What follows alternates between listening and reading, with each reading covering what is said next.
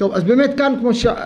יכול להיות שאמרתי את זה בפעם שעברה, אז יש פה כמה פרקים מתוך שער ב', שער ב' זה שער שמדבר הרבה יותר ממש בנושא התפילה, שער א' הוא שער אחר לגמרי, עמוק לגמרי, שהבאנו ממנו כמה פרקים, על, אה, יותר על פעולת העולמות, על, על מעשה מרכבה, כאילו פעולת השם בעולם, אבל שער ב' ממש מדבר על תפילה. אז בואו אנחנו נקרא את הדברים, ובעזרת השם, כן, נראה איך זה מסתדר אחר כך עם, באמת עם, אה, עם הקושייה שהיה לנו, שהעלינו אותה, שהיא בעצם את הבסיס של כל העניין. אז נתחיל פה לפי הסדר, כן, מה שיש פה, פרק ו', כמו שעניין חיבור וקיום נשמת האדם בגופו, הוא על ידי אכילה ושתייה, ובלתם תיפרד ותסתלק מהגוף, אכילה, לחם. לחם זה מפגש. הפועל לחם זה מפגש, זה כמו להלחים, כמו להילחם, מלחמה, מפגש בין שני דברים. הנשמה והגוף, שני דברים שאנחנו לא יכולים להשיג מה זה הקשר ביניהם, הלחם הוא הזה שמחבר אותם. אכילה. כן, חיבור עצמותו יתברך אל העולמות, שהן סוד האדם הגדול, כדי להעמידם ולקיימם לא תגאל, ולא תגאל נפשו אותם, גזרה רצונו יתברך שיהיה תלוי בעסק התורה ומעשה המצוות ועבודת התפילה של עם סגולה. ובלתם היה הוא יתברך מסלק עצמותו יתברך מהם וכרגע היו חוזרים לאפס ועין. אני, אני, אני אגיד את זה במין, זה ביטוי קצת, נגיד את זה בלשון קצת אחרת. יש בעולם הזה חוקים. יש חוקים בעולם. מה זה החוקים שבעולם? שאחד ועוד אחד זה שתיים. ושאני יודע מה, שאם תיקח אה, אה, פלטה ותחבר לה ארבע רגליים ותעמיד אותה, זה יהיה לך שולחן. וזה החוקים של המציאות, כל מיני דברים. יש חוק במציאות. חוק במציאות, צריך ככה להבין, זה בדיוק מה שהוא אומר כאן. שיהודי מישראל פותח את פיו בדיבור, שזה נקרא תפילה, בתפילה, אז קודם כל זה מגיע למקומות שאף אחד לא יכול להבין לאן זה מגיע בכלל. ודבר שני הוא אומר, זה חיבור העולמות. אלמלא זה, היה הכל חוזר לעין. זה חוק בעולם, חוק טבע בעולם, שקשה לנו קצת להשיג אותו. אנחנו לא רגילים להשיג אותו בכלל. אבל זה חוק. וככה צריך להתייחס אל זה. וזה בדיוק מה שהוא אמר כאן. כמו שבשביל שאדם יחיה הוא צריך לאכול, ככה בשביל שהעולם יתקיים, צריך את תפילתם של ישראל. זה מה שכתוב פה. זה המשל שמביא נפש החיים.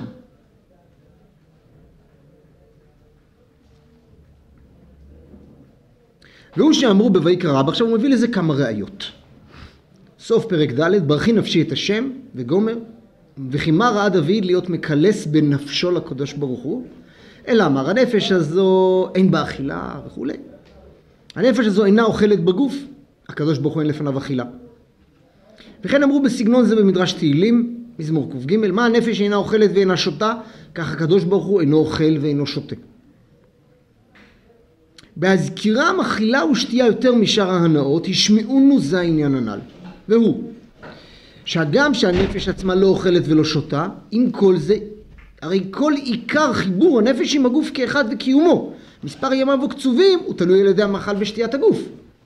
אדם שלא יאכל, לא ישתה, כמה ימים, הוא לא, לא יכול לחיות בעולם הזה. כן העניין, אם כי ודאי שלעצמות, אני חושב שזה צריך להיות פה אם באלף. זה לא באחריות שלי, זה ירד מוויקי טקסט, משהו כזה. Hmm? עם עין? טוב, אז זה לא יודע, שאלה. אם כי ודאי שלעצמות אדון יחיד אין סוף ברוך הוא איננו נוגע חס ושלום שום מעשה המצוות ותורה ועבודה כלל, ולא אכפת לי כלל, כמו שכתוב, כך הקדוש ברוך הוא אינו אוכל ואינו שותה. כביכול זה לא אכפת לו כלל. אחר כך אולי ננסה להסביר את זה קצת יותר, אולי. וכמו שכתבתי לעיל במאמרים הנזכרים בפרק ד', לקמן, סליחה. אמנם כל עיקר עניין התחברותו יתברך אל העולמות שמסודרים כאחד בתבנית אדם בכל הפרטים ואיברי האכילה כולם גזרה רצונו יתברך שיהיה תלוי במעשיהם הטובים של עם קדושו שהם הם העניין אכילה ושתייה אל העולמות להעמידם ולקיימם ולהוסיף כוח קדושתם ואורם על ידי התחברותו יתברך אליהם כראוי כפי הרצון העליון יתברך שמו. הכל לפי רוב המעשה של עם סגולה שהם המתקנים ומאחדים העולמות שיהיו ראויים לקבל שפעת האור ותוספת קדושתו יתברך כעניין המזון שהוא מוסיף כוח בגוף ומעדן אותו. אני, אני אסביר עכשיו, קצת אני אסביר את זה, אני אגיד לכם את זה בשפה של מקובלים. המקובלים מדברים על שני סוגי גדלות. כל העולם, שוב אני אומר, זה המון המון מושגים, זה המון המון דברים, אתם כל פעם, אני זורק לכם משהו אחר, ואני מקווה שלא תתבלבלו מזה יותר מדי. על, העולמות, או בכלל על כל דבר שבעולם, אז יש זיווג, עיבור, לידה, ינקות, גדלות. בסדר, כמו נגיד אדם נולד, אז יש זיווג, אחר כך יש הריון, עיבור, אחר כך יש לידה. זה, כל דבר זה שונה, כל דבר זה כבר משהו חדש. מופיע פה בעולם. אחר כך יש ינקות, זאת אומרת שהוא יונק עוד, שהוא, שהוא עוד תלוי לגמרי לגמרי בהורים שלו. לא, אם, אם ההורים שלו לא יטפלו בו, הוא ימות. ואחר כך יש גדלות. אז כל, כל הדברים, המקובלים מסדרים את הכל גם לפי החמשת הדברים האלה. בגדלות, הם אומרים שני סוגי גדלות, יש גדלות ראשון וגדלות שני. במשל של המקובלים, גדלות ראשון זה גיל 13, גדלות שני זה גיל 20. גדלות ראשון גיל 13 זה כבר בר מצווה, זה כבר אדם שהוא כבר חייב במצוות, אבל הוא עוד לא באמת גדול, כולנו יודעים שהוא עוד לא באמת גדול. למשל, אם הוא אה, אה, קיבל ירושה ומכר נכסי דלוניידי, זה שום דבר מההלכה. עד שהוא בן 20, מכירה שלו בנכסי דולוניידה זה שום דבר. כי מישהו יכול לפתות אותו, לבלבל אותו, ילד בן 13, ילד בן 15, עוד עושה שטויות. אז זה גדלות ראשון, כן, וגם חייב בעונשין. בעונשין של אדם חייב מגיל 13, אבל בדיני שמיים רק מגיל 20. אתם יודעים את הדברים האלה, זה חילוקים שיש פה גם בהלכה. אז יש גדלות ראשון וגדלות שני. גדלות, גדלות, מה זה גדלות? גדלות זה שכל. גדלות זה הבנה. גדלות זה, גדלות זה לא גדלות פיזית. מה זה גדול? גדול זה אחד שהוא, הוא כבר, הוא מדבר כמו אדם גדול. הוא, זאת אומרת, הוא יותר חכם, הוא יותר מבין, הוא יותר, הוא, הוא, הוא תופס את המציאות בצורה יותר אמיתית. זה גדלות.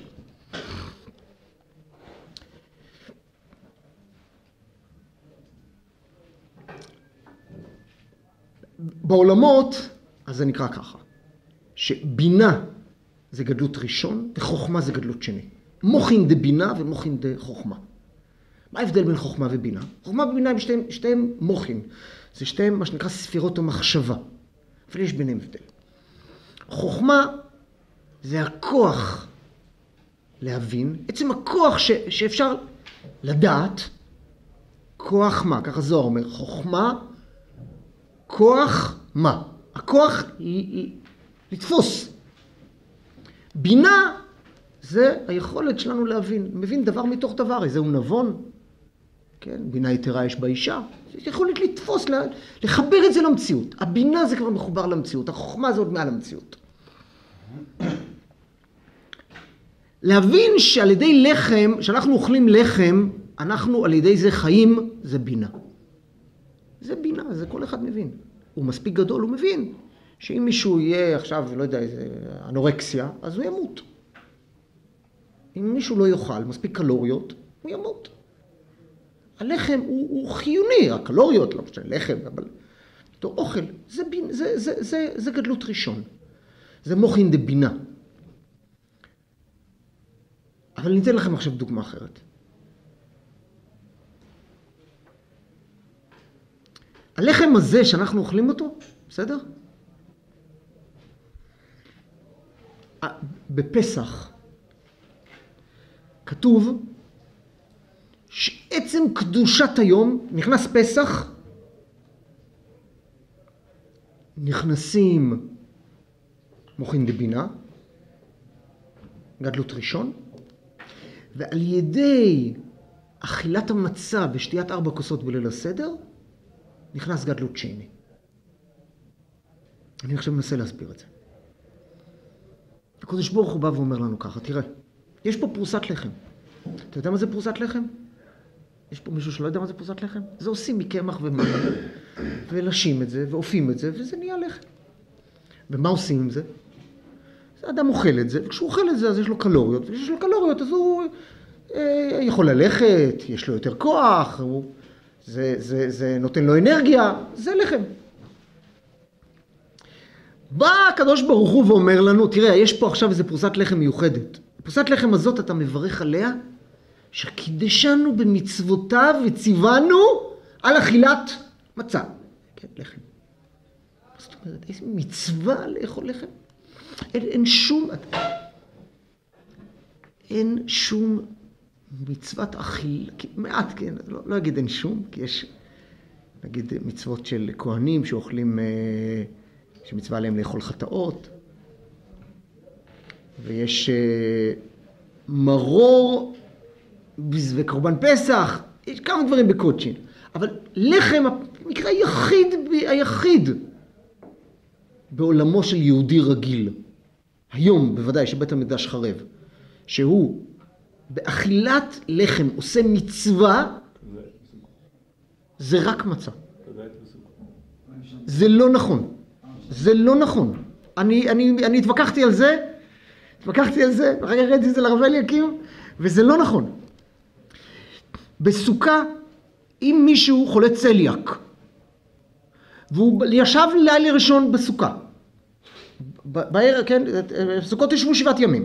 ישב לילה ראשון בסוכה, והוקש חמישה עשר חמישה עשר לפסח, שבלילה הראשון זה, זה חובה, זה חובה גמורה. בשאר, והוא סידר לו על השולחן, הוא חולה צליאק, הוא לא יכול לאכול לחם.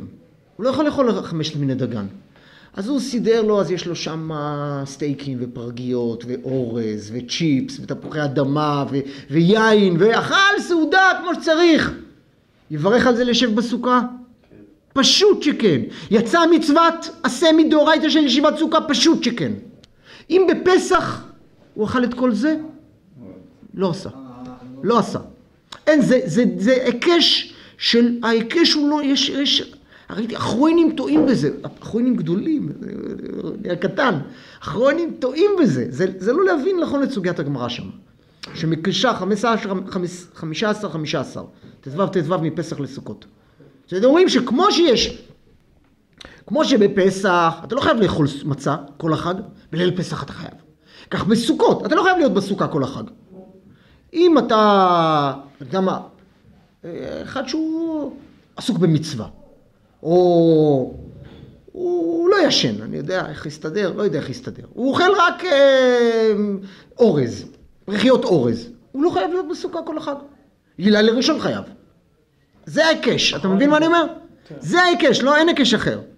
נעזוב את זה. אתה אוכל לחם, אז על ידי זה מקיים את המצוות ישיבת סוכה. הנה חינמי, נכון, אבל גם ביום, גם בשבת אני אוכל, אבל זה לא מצווה, לא מברכים על זה. הראיה, שבפסח אתה מברך, שכשאנו ציוונו על אכילת מצה, ובסוכות אתה לא מברך על אכילת לחם. אתה מברך לישב בסוכה, שזה אתה יכול לברך גם אם אתה הולך לישון בסוכה. בפשטות, כן, לא, לא ניכנס פה לסוגיה, לברכת ברכת הסוכה, סוגיה אחרת, אבל אין, רק, אני אומר לכם, רק, עכשיו מה, מה, מה זה אומר הדבר הזה? אז, אז איך, מה זאת אומרת אני מברך? מה זה קדוש ברוך הוא? הרי זה לחם, זה קלוריות, זה, זה, זה, מה אני עושה עם המצה הזאת? אז, אז הקדוש ברוך הוא אומר לנו, אתה אוכל את המצה הזאת, אתה משיג עכשיו מוחין דגדלות. מה זה מוחין דגדלות? אז הזוהר קורא לזה נעמה דמהימנותא. אתם מבינים מה זה נעמה דמהימנותא? לחם האמונה. זאת אומרת, אדם רוצה להבין אמונה, להאמין בקדוש ברוך הוא, תאכל את זה. מה זה קשור? מה זה קשור מלאכול מצה להיות מאמין? מישהו מבין את זה? אף אחד לא מבין את זה. זה מוחין דחוכמה. אף אחד לא יכול להבין את זה. רק זה כתוב, אז אני מאמין שזה ככה. כי זה כתוב, מה? מה זאת אומרת מי שכתב? זה כתוב קודם כל בתורה, מצווה לאכול מצה, בערב תאכלו מצות, מצוות הזה מדאורייתא, אז קודם כל זה מצוות הזה, איפה יש לי עוד מצוות הזה כזאת? כל מצווה, תפילין, זה מוחין דגדלות. מה, מה פתאום אדם לוקח בהמה, כותב כל מיני קלפים, כל מיני דברים, שם את זה על הראש ואומרים לו, זה, וואו, פש, וואו, מה שאתה משיג עכשיו.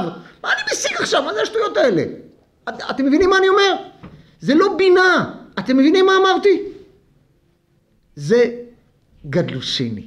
זה, כן, זה, זה, זה, זה מוחין דחוכמה. מה שהוא אומר כאן, פעולת התפילה, זה מוחין דחוכמה. אתם מבינים מה אמרתי? תפילה, אבל לא כתוב בתורה. כאילו, מישהו מישהו הגיע להבנה הזאת. אז כאילו, אז אפשר להגיע לדבר הזה. פעולת התפילה, שהיא מחברת את כל העולמות, ואילמה לי התפילה, הרי קראנו עכשיו פסקה, קראנו פה פרק, פרק שלם בשער ב' של נפש החיים.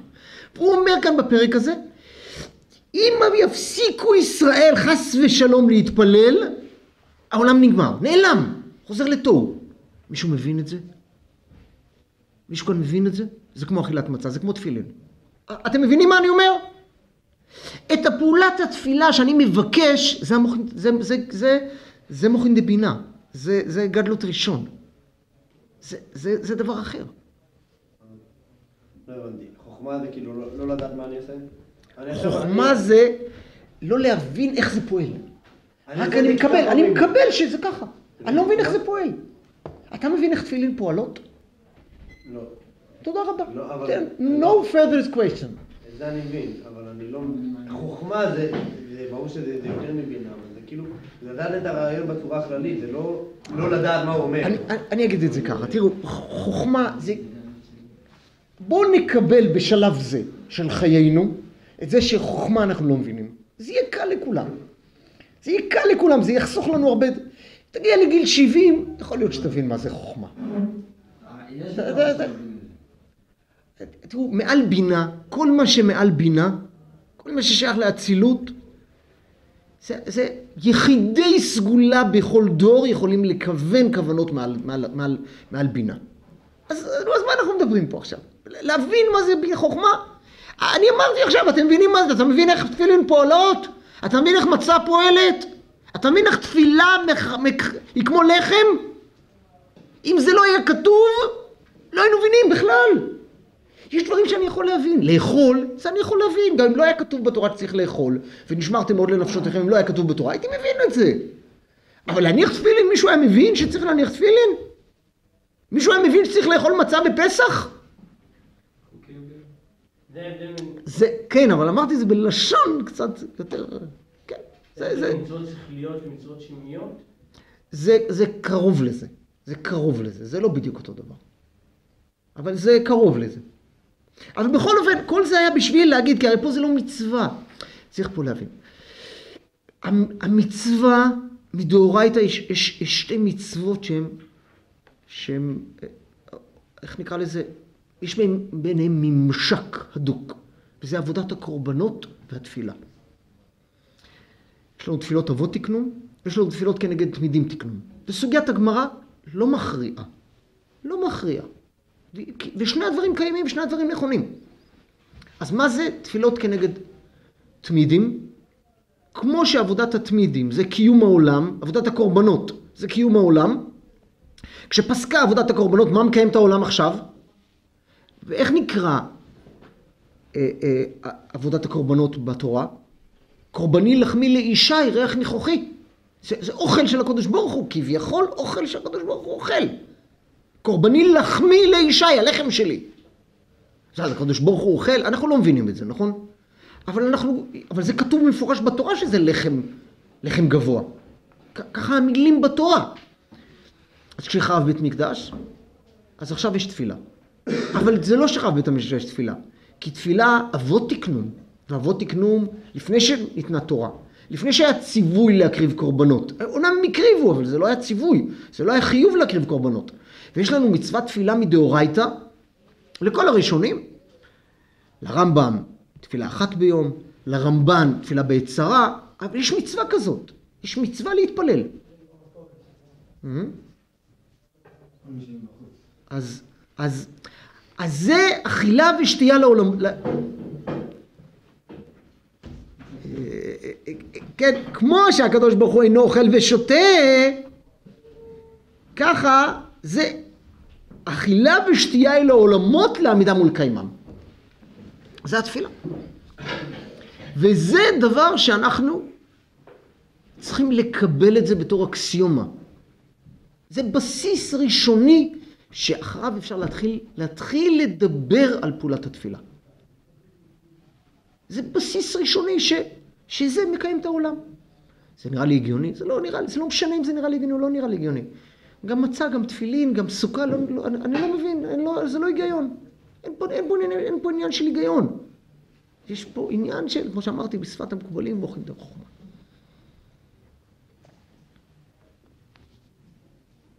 נמשיך, פרק ח'. אז בדילוגים, אתם רואים, אני כבר לא זוכר כבר למה בחרתי דווקא את הפרקים האלה, אבל בכל זאת. זהו מאמרם ז"ל, כל האומר הקדוש ברוך הוא ותרן, יוותרון חיוהי. אשר לכאורה נפלט. לא נתבהר למעלה בשער א' וכולי. ולדברנו כאן העניין יותר מבואר בטוב דעם, בטוב טעם, שאינו על דרך הנקמה חס ושלום. כאילו הקדוש ברוך הוא, מה אתה אומר שאני ותרן? אה, אני אראה לך מה זה ותרן. אלא כמו שמטבע האדם שאם יאכל מאכל שבטבעו הוא מקלקל ומזיק לגוף, יזיק לו אותו מאכל, הוא גם יכלה ממנו, ואם שם המוות, ימות ממנו, הוא בעצמו נתחייב בנפשו. כאילו מישהו אוכל משהו רעל, פטריית רעל, אז, אז, אז, אז, אז הוא בעצמו אה, גרם למיתתו, לפעמים בשוגג, לפעמים במזיד, יש אנשים מתאבדים, כל מיני דברים כאלה. כן, הוא בעניין העוונות של הנפש החוטאת, חס ושלום. כיוון שכן קבע הוא יתברך ברצונו טבע סידור מצבם וענייניהם של העולמות. שמעשי האדם הטובים או רעים, חס ושלום, הם קניין מאכל ומזון להם. לעולמות. מאכל ומזון לעולמות. קיום העולם כולו, על ידי מעשי האדם טובים או רעים, תורה, תפילה ומצוות.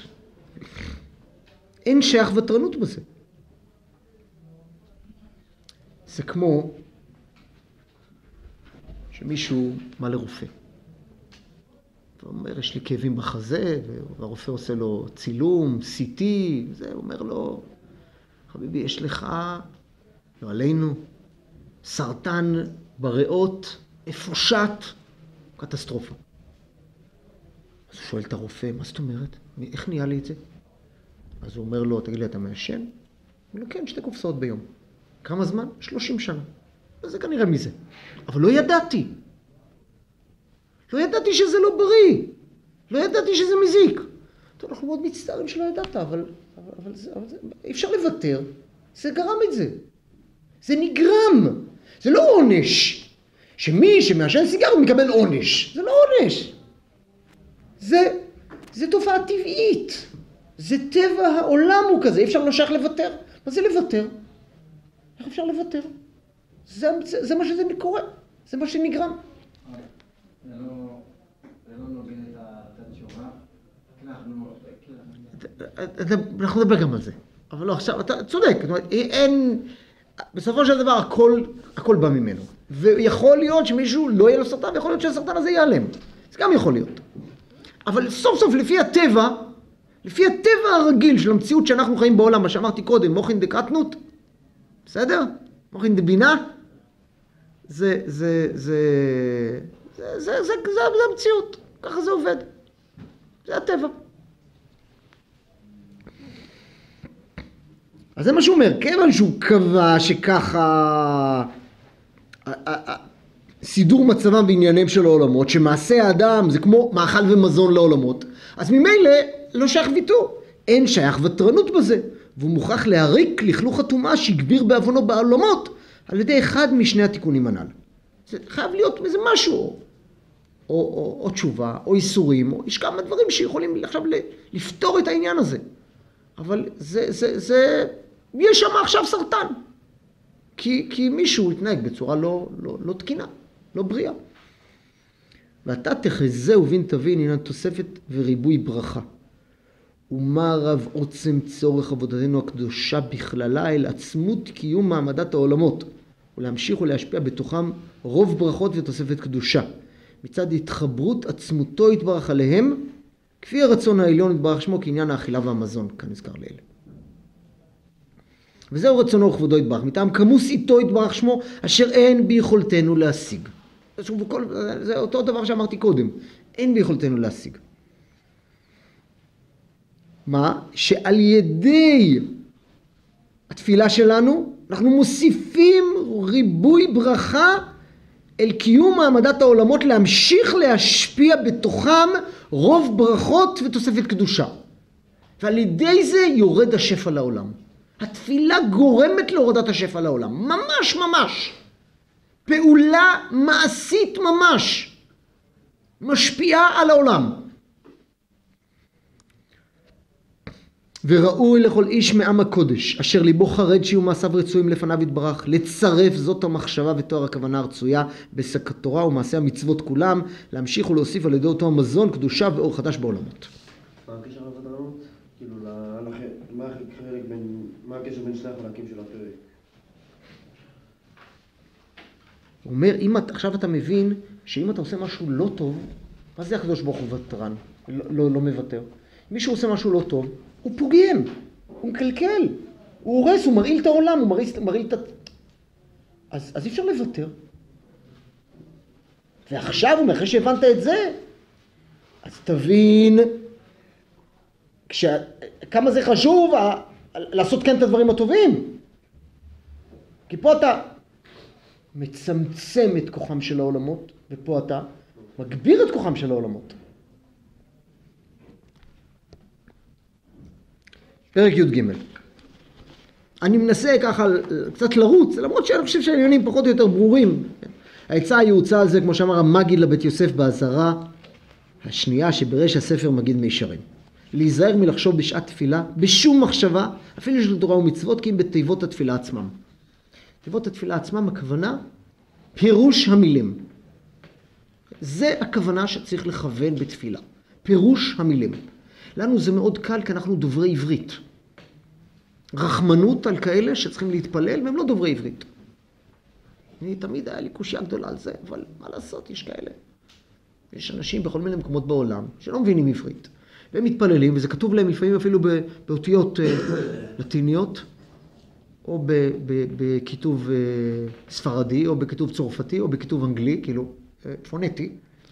תלוי אם הם מצרפת, או ממקסיקו, או מארצות הברית, והם ככה מתפללים. והם אומרים, כן, אומרים את המילים בלי להבין מה זה. אבל זה באמת הרבה יותר קשה, וגם זה, וגם זה טוב. גם זה טוב, אבל, אבל זה כמובן, פשטות הכוונה זה פירוש המילים. אז זה מה שאמר לו המגיד לבית יוסף. דוק בדבריו, שלא אמר לכוון בכוונת התיבות. טוב, נראה מה זה. כי באמת בעומק פנימיות כוונת התפילה אין איתנו יודע עד מה. כי גם מה שנתגלה לנו קצת כוונות התפילה מרבותינו הראשונים זה על קדישי עליונים. עד אחרון הרב הקדוש, איש אלוקים נורא אריזל, אשר הפליא הגדיל לעשות כוונות נפלאים, אינם בערך אף כטיפה מן הים כלל נגד פנימיות עומק כוונת אנשי כנסת הגדולה מתקני התפילה. זאת אומרת, יש דבר שהוא פירוש המילים ויש דבר שהוא כוונת התפילה, כוונת המילים. כוונת המילים זה משהו אחר לגמרי. שזה, יש כוונות, כוונות האריזל, כוונות הזוהר, יש כוונות פשטיות, יש כוונות הר, הרמח"ל, אה, כוונות הרשש, המון המון כוונות. ואנחנו נזכיר אותם בהמשך הלימוד, אנחנו מן הסתם נזכיר כי אין ברירה, כי חייבים בדברים מסוימים להזכיר את הכוונות. אבל הוא אומר, זה לא, זה לא מה שצריך לכוון. מה שצריך לכוון זה רק את פירוש המילים, לא כוונת המילים. למה? כי הוא אומר שאפילו כל הכוונות, אפילו כוונות האריזל, ואם בימינו אז הוא היה אומר כבר כוונות הרשש, כי הרי הנפש החיים לא ראה את כוונות הרשש. אבל זה כבר כמה מדרגות מעל כוונות האריזל, כאילו פיתוח, פיתוח והרחבה של כוונות האריזל. אז הוא אומר, זה אפילו לא טיפה מן הים נגד פנימיות עומק כוונת אנשי כנסת הגדולה מתקני התפילה. שהיו 120 זקנים ומהם כמה נביאים, וכל מבין יבין. דלא, דלא אתי, דלא איתי, שאין. אנש על יבשתא, אין אדם בעולם שיוכל לתקן תיקון נפלא ונורא כזה. לכלול ונגנוז במטבע תפילה קבועה וסדורה בנוסח אחד. נוסח אחד שלא משתנה. כן, אותו נוסח אנחנו מתפללים שלוש פעמים ביום, אותו נוסח בדיוק. התיקונים של כל העולמות עליונים ותחתונים וסדרי פרקי המרכבה. ושכל פעם שמתפללים יוגרם תיקונים חדשים בסידור העולמות והכוחות והמשכת מוחין חדשים אחרים. שמעת שתיקנוה, מאז שאנשי כנסת הגדולה תיקנו את אותה תפילה, את אותה תפילת שמונה עשרה, עד ביאת הגואל במהרה בימינו, לא היה ולא יהיה שום תפילה בפרטות דומה לחברתה שקודם לה ואחרי הכלל. דלבושין דלביש בצפרא, לא לביש ברמסה. או דלביש ברמסה וכולי, כמו שכתוב בתיקונים, תיקון כ"ב. כן, המלך מחליף לבושים כל יום. מה שהוא מתלבש היום, הוא לא מתלבש בבוקר, מה שהוא לובש בערב, לבושים אחרים. זה התפילה. וכן כל יום לחברו שלפניו ואחריו. ולכן אמרו רבותינו ז"ל, מעוות לא יוכל לתקון, זה שביטל קריאת שמע ותפילה. כמו שכתוב באורך פרי עץ חיים, פרק ז' משאר התפילה, אין שם, והוא בלתי אפשרי. זה, זה בלתי אפשרי, אומר, לתקן תיקון כזה, להצליח להכניס במילים את מה שיש לנו בתוך התפילה, זה בלתי אפשרי אם לא על ידי הנבואה העליונה ורוח קודשו יתברך אשר הופיע עליהם הופעה עצומה בעת תיקון נוסח מטבע התפילה והברכות. שם הוא יתברך שמו בפיהם אילו התיבות ספורות וגנוזות בתוכם כל התיקונים. לזאת מי הוא אשר עמד בסוד השם על עומק כוונתו יתברך שמו איזה דרך ישכון אורה על כל תיבה פרטית מהם. אז מי יכול בכלל להגיע לכוונות? אז אנחנו לא עוסקים בכוונות. לכן אמר המגיד לבית יוסף פירוש המילים. פירוש המילים. והפעולה היא פעולה שאנחנו לא מבינים אותה, כמו שאנחנו לא מבינים איך פועל תפילין, כמו שאנחנו לא מבינים איך פועל ציצית, כמו שאנחנו לא מבינים איך פועל אכילת מצה. איך זה מכניס לנו אמונה. אנחנו לא מבינים את זה.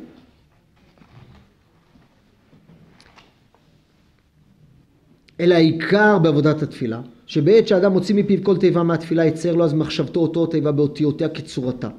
ולכוון להוסיף על ידה כוח הקדושה שיעשה פרי למעלה להרבות קדושתם ואורם. לחשוב על המילה. כאן, זה, זה, זה שיטת הנפש החיים. נפש החיים אומר, כל מילה, תחשוב על המילה, תצייר את המילה. אנחנו היום אומרים, באופן פשוט, כן, לפי הכוונה הפשטית, מה שאמרתי קודם, שזה לא בדיוק אותו דבר, אבל נפש החיים, למרות שהוא ידע עברית, ודאי אה, ידע עברית מספיק טוב בשביל להבין כל מה שכתוב במילה, בתפילה, הוא כותב על כל הספרים שלו בעברית, אבל אה, אנחנו היום אומרים שאנחנו, להתפלל בכוונה, באופן פשוט, לא בכוונות, אלא בכוונה, לכוון בתפילה, זה להגיד את מה שאתה, לחשוב על מה שאתה אומר. וממילא זה ציור של המילה. אה, ולכוון להוסיף על ידי כוח קדושה שיעשה פרי למעלה להרבות קדושתם ואורם כמו שכתבתי לאל בפרק י' שלכך נקראת התפילה דברים העומדים ברומו של עולם. שכל תיבה בצורתה ממש היא העולה למעלה מעלה כל אחת למקורה בשורשה לפעול פעולות ותיקונים נפלאים. והיא סגולה נפלאה. בדוק ומנוסה למרגילים עצמם בזה לבטל ולהסיר מעליו בזה כל מחשבות ההבלים הטורדות ומניעת טהרת המחשבה והכוונה.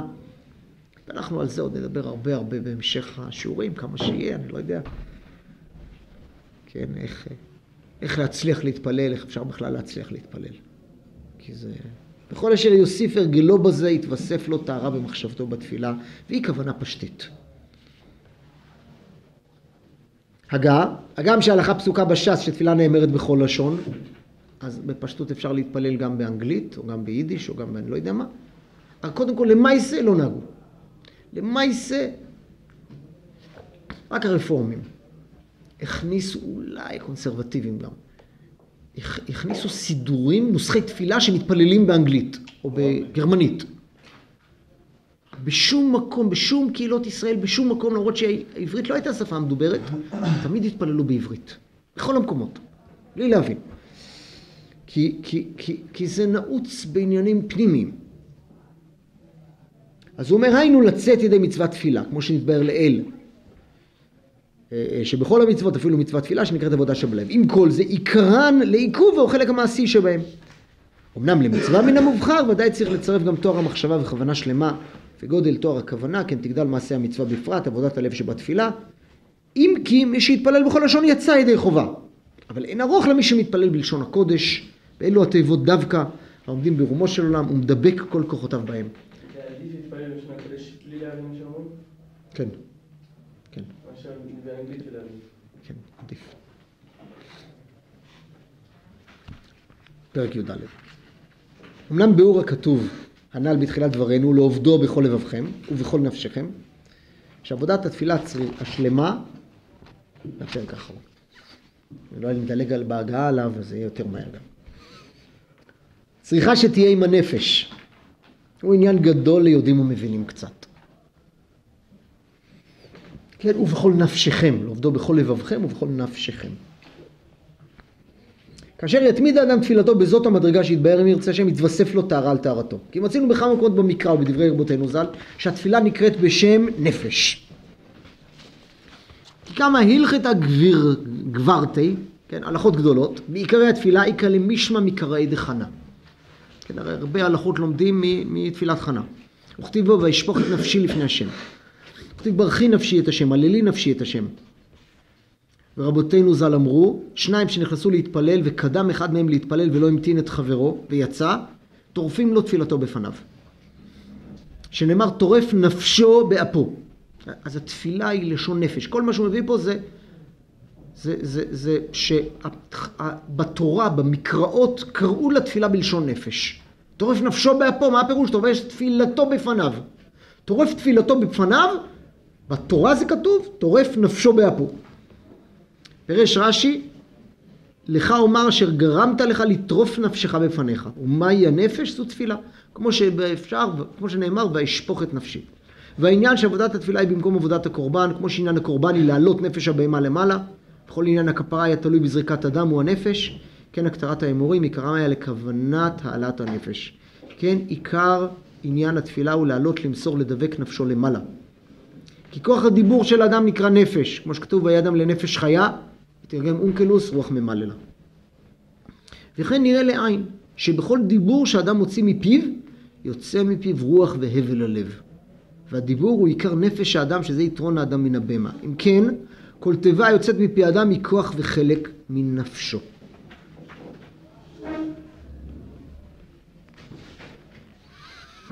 ואין פרי עץ חיים, פרק ה' משער התפילה, ומת שבעווננו נפסקה עבודת בית קודשנו, ולא נשארה רק עבודת התפילה במקומה, שגם היא סגולתה לקשר ולייחד העולמות עד לעילה לעילה באינסוף ברוך הוא, כמו שאמרנו שזו הייתה אותה עבודה שהייתה עבודת הקורבנות, אז היום זה רק עבודת התפילה, אבל שניהם עשו את אותה פעולה. כמובן במקומות רבים וכולי.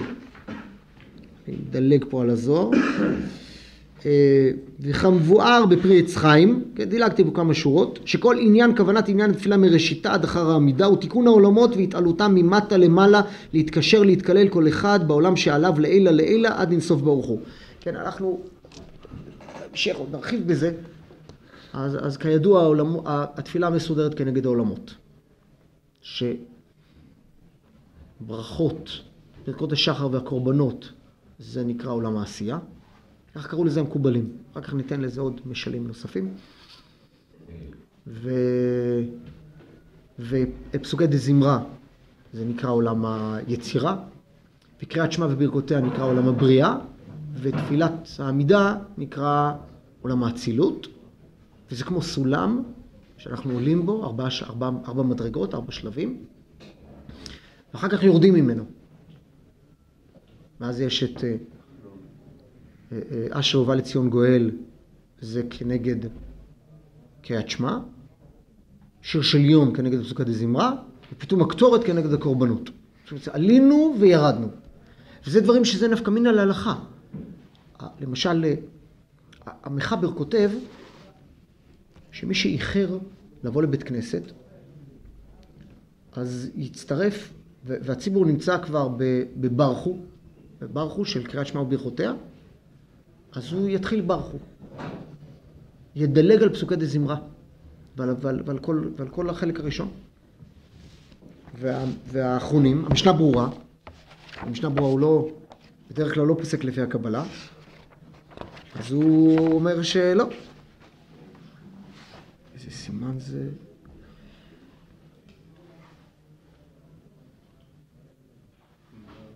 הנה, נ"ב. תראו את הלשון של המשנה ברורה שם.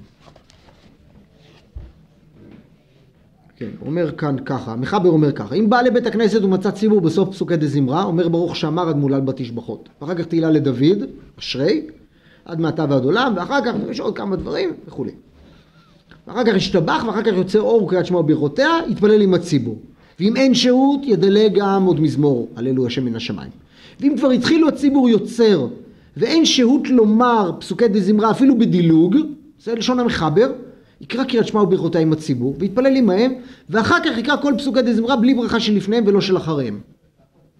ככה כותב המחבר. למעשה אתם יודעים שלא נוהגים ככה, נכון?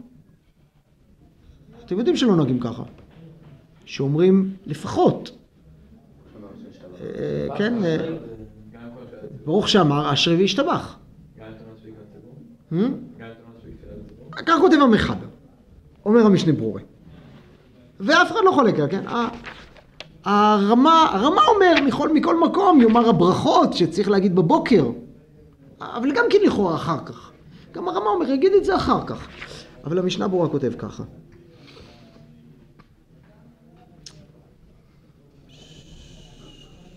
ועיין בפרי מגדים.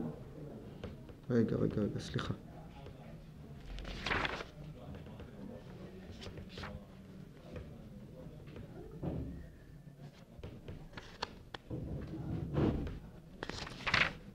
נו, איפה ברורה הזה?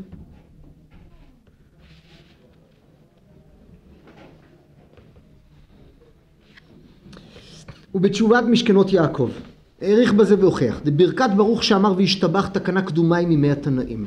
על כן מוטב להתפלל ביחידי, מי שידלג לגמרי ברכת ברוך שאמר וישתבח. אך אם לא יצטרך לדלג לגמרי, שיוכל לומר ברוך שאמר ואשרי וישתבח, בעת שהחזן מעריך המילות מיוצר והלאה, לכולי עלמא יעשה כן. בעיקר תפדה הוא שיתפלל תפילת י' 18 עם הציבור בלחש. אך פשוט, שכל זה הוא בתנאי שעל ידי זה לא יחסר מצוות קריאת שמע, כדין המבואר, בסימן ס"א וכולי, מקיים מצוות תפילה בשביל תפילה בציבור. איפה הוא כותב עם הצינורות? לא להפך הצינורות. אני לא זוכר את זה. אני לא מוצא את זה עכשיו. אולי המגן אברהם אומר. הוא גם אומר, לא להפך הצינורות. אני זוכר שוב, הוא כותב לא להפך הצינורות, אבל אני כבר מזמן לא חזרתי על זה. לא להפך הצינורות, זה כי, כי חייבים ללכת לפי הסולם, ואם אני מדלג על, על פסוקי דזמרה, אז דילגתי על שלב בסולם, אז אי אפשר.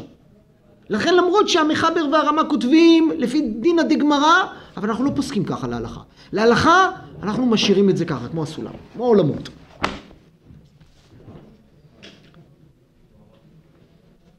אחר כך, בהמשך אנחנו עוד נדבר על זה, בהמשך השיעורים עוד נסביר יותר דברים בעניין הזה.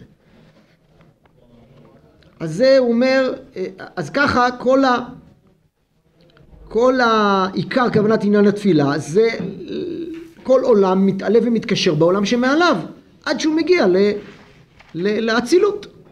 מה זה אצילות בספירות? חוכמה, אמרנו קודם, נכון? מוחין דה גדלות, מוחין דה חוכמה. זה אצילות, זה תפילת שמונה עשרה.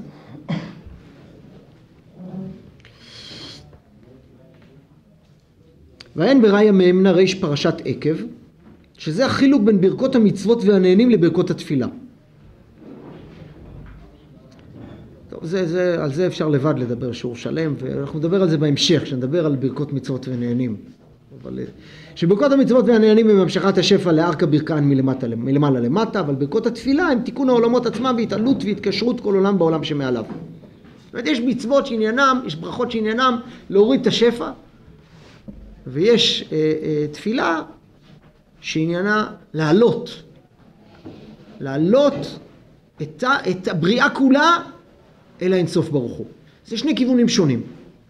שני כיוונים שונים, זה נקרא גם אור ישר ואור חוזר, אבל זה נסביר את זה בעזרת השם כשנדבר על, בר, על, על, על הברכות, ובלי שום ספק נדבר על זה, כן, אפילו על ברכות השחר, כשנתחיל לדבר על ברכות השחר בהתחלת הסידור, אז נסביר את הדברים האלה. ואין בפרי עץ חיים וכולי, ומה שכתב שם מעילה לטאטה, היינו המשכת השפע ממעלה למטה, אחר העמידה. טוב, זה, זה אחר העמידה, זה נקרא הורדת השפע. כלומר, עד העמידה זה עליית העולמות, ואחרי העמידה, מה שאמרנו, אשר ובא לציון גואל, ולא בדילוג, הנה, כתבו הספרים שהמגיד הזהיר לבית יוסף לבוא לבית כנסת בהשכמה, כדי שיוכל להתפלל כסדר ולא בדילוג, כי העושה כן, מהפך הצינורות. מה שאמרנו, אפשר, מהפך הצינורות, זה צינורות השפע. צינורות השפע של העולם, מהפך אותם, אי אפשר להפוך אותם. הלכה, הלכה משנה ברורה. כן, פעולת התפילה. אז אמרנו, אז ההתחלה זה עלייה עד, עד, עד, עד האצילות, עד תפילת העמידה זה עלייה, ומאחרי תפילת העמידה זה נקרא ירידת השפע. שם כבר אשר ובא לציון גואל, פסוקי דזים, אה, שיר של יום, ופתאום הקטורת זה ירידת השפע. אבל בסדר, אבל לא ניכנס, אה, כאן מביא בשם ראיה מאמנה, לא משנה. ולזאת, וזו הפסקה העיקרית שבשבילה הבאתי את הפרק הזה. בעת עומדו להתפלל לפני קונו יתברך שמו, יפשיט גופו מעל נפשו. אתם הצלחתם לעשות את זה פעם? היינו, שיסיר כל רעיוני ההבלים הבאים מכוחות הגוף שנחקקו ונתדבקו בנפשו. שלא תהיה עבודת תפילתו רק בנפש, ורעותה היא לעדילי.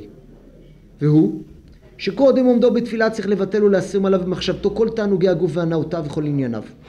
עד שיוקבע במחשבתו למאס הגוף כאילו אינו בעל גוף כלל. הדברים האלה, אנחנו קוראים אותם עכשיו, ואחר כך בהמשך אנחנו נבין אותם יותר, נסביר אותם יותר, נסביר אותם יותר. כאילו אינו בעל גוף כלל, ורק נפשו לבדה המדברת תפילתה. ובדברו כל תיבה, כי היא כוח וחלק מנפשו ידביק בה רצונו מאוד ליתן ולשפוך בה נפשו ממש לגמרי, ולהדביקה בשורש העליון של תיבות התפילה העומדות ברומו של עולם.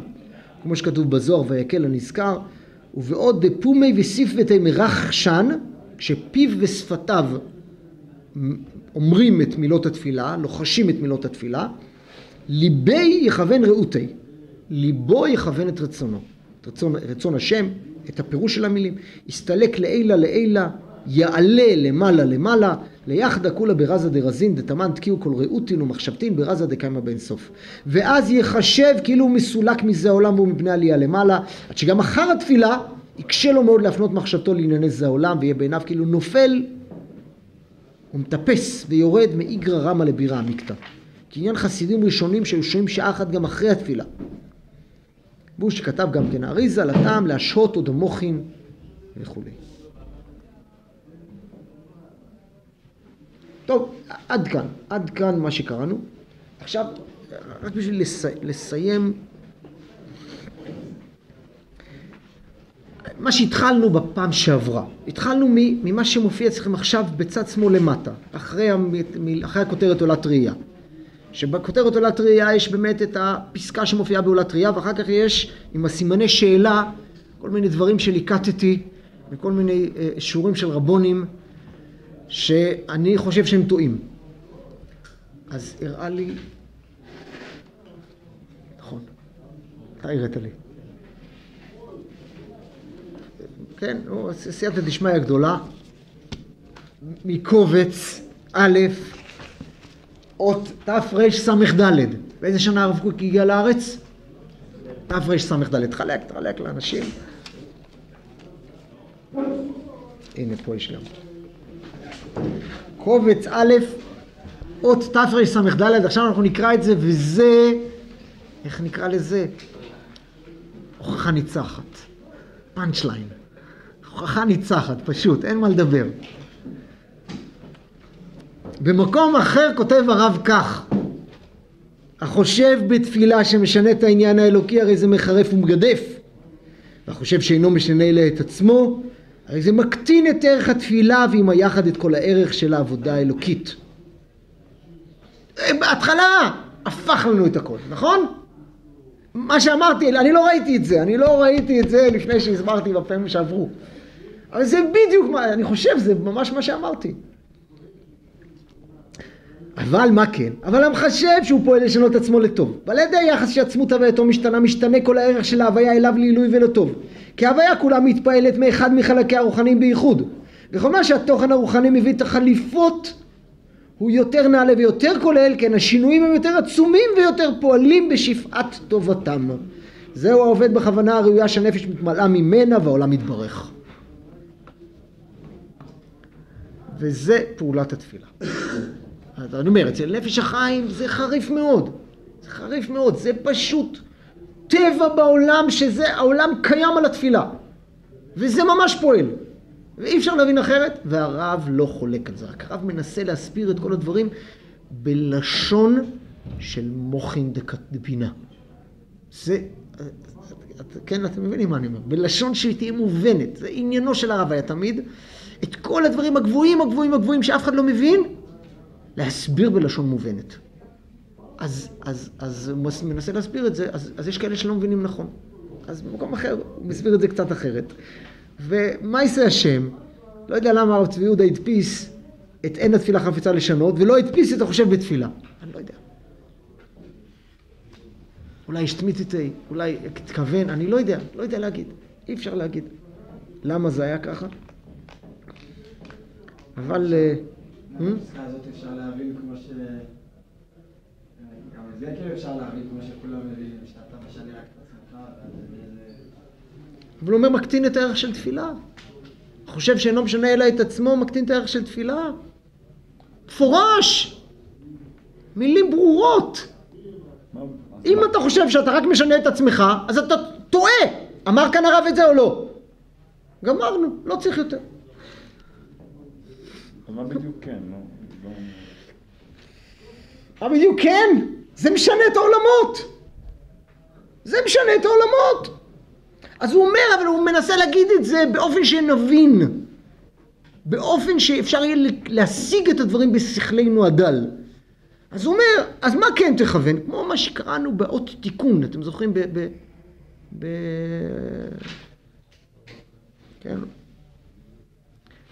אז זה, זה אותו דבר, זאת אומרת, מישהו, אלא מה? הוא אומר, אדם צריך להבין שהוא משנה את עצמו לטוב.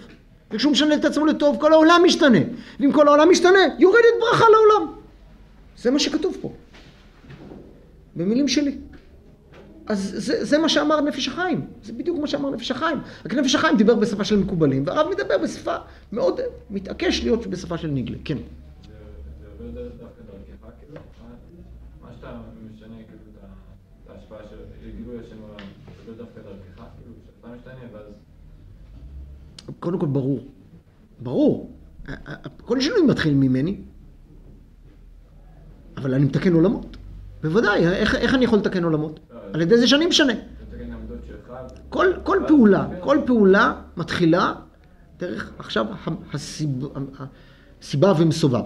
הסיבה זה אני, אני משנה, אז אני, אני עשיתי משהו, אני עשיתי פעולה. אתה משתנה בעצמך, כאילו? אמר כאן, ראינו פה בדברי נפש החיים, שאם אדם עושה דברים לא טובים, מעוות שאינו יכול לתקון, אה, לא, לא מעוות שאינו, אה, אה, נו, הקדוש ברוך הוא אומר, הקדוש ברוך הוא ותרן, יוותרו מאוי, יוותרו חייו. אתה עושה מעשה לא טוב, אז איפה הוא קלקל? קלקל עצמו וקלקל בעולמות. אז אם הוא עושה טוב, הוא, הוא תיקן עצמו ותיקן בעולמות. אבל הכוונה צריכה להיות, אסור שהיא תהיה לכוונה פרטית. זה ראינו במפורש, נכון? הוא אומר את זה במפורש כאן. להסיר ולבטל מעליו כל תענוגי הגוף והנאותיו וכל ענייניו. אבל אדם רוצה להתפלל, אדם לפני התפילה. אז, הוא, אז יש לו כל מיני דברים להתפלל עליהם. זאת אומרת, יש לי... אה, סבא שלי כבר, לא יודע מה, צריך אה,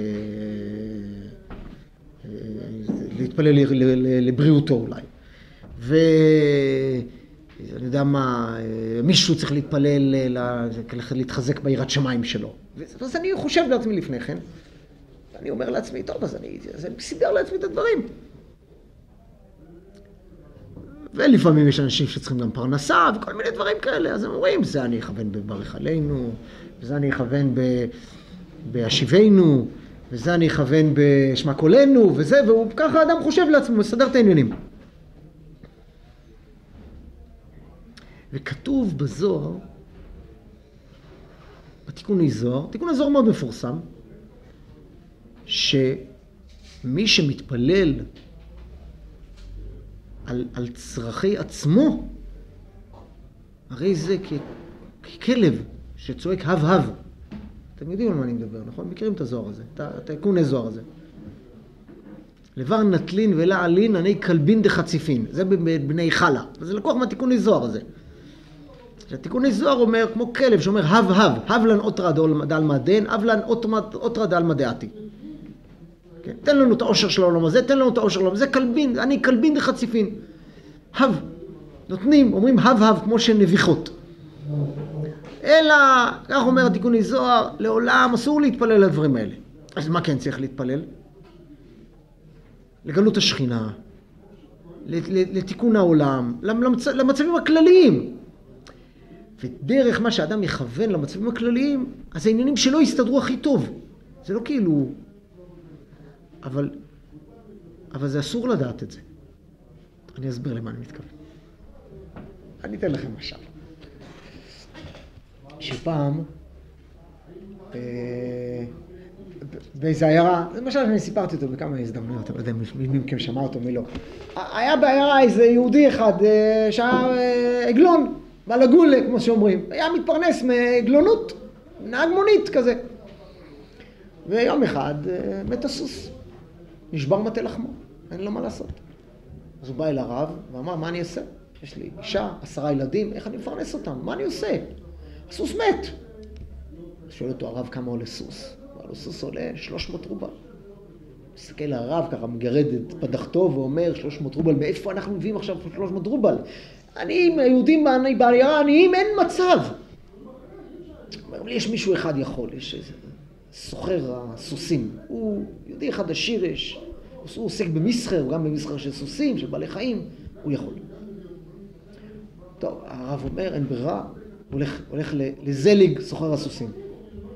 אז הוא אומר לזליג, אתה שמעת של... למוישה הסוס מת? אמר לו, כן, שמעתי. נו, מה? אמר לו הרב. עכשיו, זליג הוא אדם אה, מבין עניין. אז הוא אומר, נו, מה, מה נעשה? הוא אומר, הרב, אתה יודע, יש לו אישה ועשרה ילדים, ועכשיו אין לו פרנסה. הוא אומר, זליג, מה, מה הרב רוצה? אם הרב יעשה מגבית, אני אתן חמש דולר, חמש רובל. הרבה מאוד. מה, אני, אבל אני מתפרנס הרי מסחר בסוסים, אני לא מחלק סוסים בחינם. מה אתה רוצה ממני? אמר לו הרב, נו, בכל זאת, מה, מה אתה מסכים? אתה יודע, 300 רובל לא יהיה פה בעיירה. והוא, היהודי, צריך להתפרנס. מה, מה, מה, מה אתה מוכן? חשב רגע לי, גמר, אם הרב ייתן לי את העולם הבא שלו, אז אני נותן סוס. בחינם. אמר הרב, עשינו עסק. הביאו עדים, חתמו חוזה, הרב נותן לזליג, סוחר הסוסים, את העולם הבא שלו, והוא ייתן סוס למוישה, לבלגולה. חתמו, קרא למוישה, אמר לו, תבחר איזה סוס שאתה רוצה מהעורבה. הסוס הכי טוב, תיקח אותו. עכשיו אני רוצה לשאול אתכם, הרב הפסיד את העולם הבא שלו? או שנהיה יותר צדיק? יקבל עולם הבא יותר גדול, כי עכשיו הוא גם הציל את מוישה עם כל האישה והילדים שלו וזה בחרפת רעב, נו, אז מה, הוא עובד אלינו? מי עובד אל מי פה? וזליג קיבל את העולם של הרב. זליג קיבל את העולם הבא של הרב ולא קיבל את העולם הבא של הרב, אז מה קרה פה? מה קרה פה? אני רוצה להבין מה קרה. מבחינה אלוקית. אז אני אגיד לכם זה ככה. אם הרב, כשהוא חתם על החוזה, הוא חשב, נו, זה שטויות, אני הרי עכשיו אקבל עוד יותר עולם הבא, אז הוא לא יקבל כלום באמת. כי הוא באמת עשה... אבל אם הוא התכוון באמת שהוא מוכן עכשיו להפסיד את כל המדרגות שלו, רק שיהודי לא יספול חרבת רב, הוא מוכן באמת, הוא לא יודע איך זה עובד, אבל הוא מוכן. הוא מוכן, אז זה פועל. ואז גם זליג מקבל את העולם הבא של הרב, וגם הרב יקבל עולם הבא יותר גדול.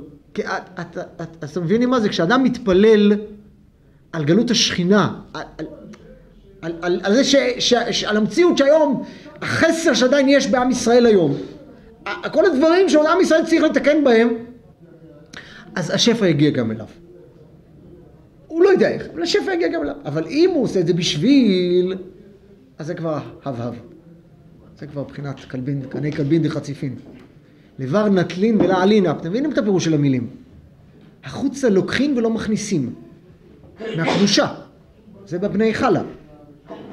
לבר נטלין ולעלין. לוקחים החוצה ולא מכניסים לקדושה, רק לוקחים ולא מכניסים. עני כלבין דחציפין.